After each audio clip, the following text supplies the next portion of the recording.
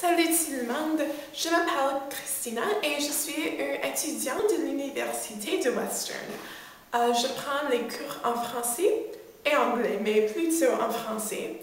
Euh, je fais un échange en septembre euh, puisque je veux améliorer comment je parle la langue française, ou le français en général. alors, au Canada, nous, nous habitons dans un pays bilingue donc, euh, à mon avis, c'est très important de maîtriser les deux langues. Maintenant, je vais jouer au piano.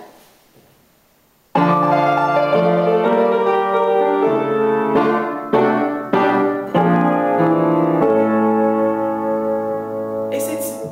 Merci. Au revoir.